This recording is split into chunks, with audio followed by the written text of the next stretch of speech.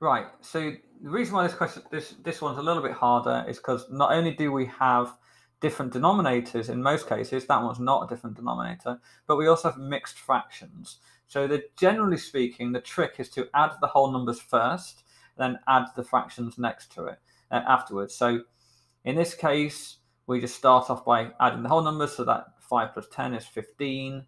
Then there's a, then we set then we move these ones uh, to do next. So 1 eighth plus 1 16. And then afterwards, we use the same method as before. So we take the eighth, we turn it into over 16, which is 2 over 16. Now we've got the same denominator. We add the top numbers together, 3 over 16. And that's the answer for question 1.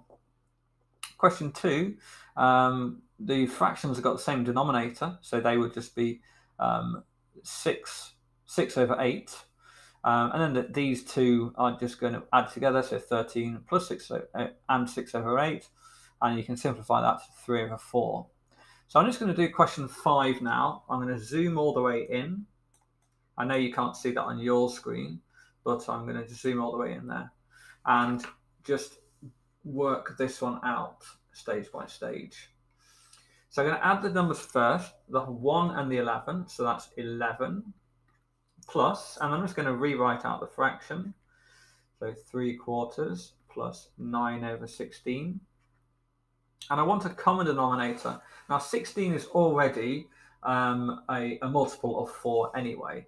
So I can leave, I can make the denominator, denominator 16. And the second fraction will just stay as 9 over 16 because I've not done anything to it to get to what the next one is, it's, oh, and I need to add the 11. To get the next one, it's um, going to be, well, 3 quarters, which is the same as, well, to get to the 16, I have to multiply the 4 by 4. So that's going to be 12.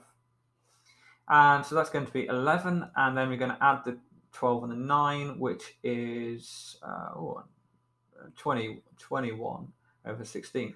Now this is a bit of a weird um, looking fraction, isn't it? Um, and the reason for that is because the if I'm doing a mixed mixed number, then I don't want a top heavy fraction. So what I do is I look at that 21 over 16 and I think how many, if because the top number is higher than 16, then it's a top heavy fraction. Hang on a second, I've, um, I've my notation is wrong there. Let me just try that, do that again. Um, I want the pen. So it's equal to 11 and 21 over 16. And so that is equal to, so 21 over 16. Well, basically um, that, how, if I subtract 16 from 21, how many, what would I get? What would I get if I subtracted 21 from 16? Sorry, what would I get if I subtracted, uh, subtracted 16 from 21?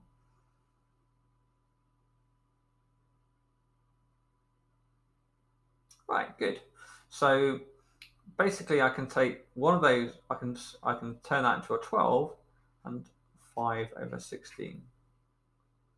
And that's the answer. Okay.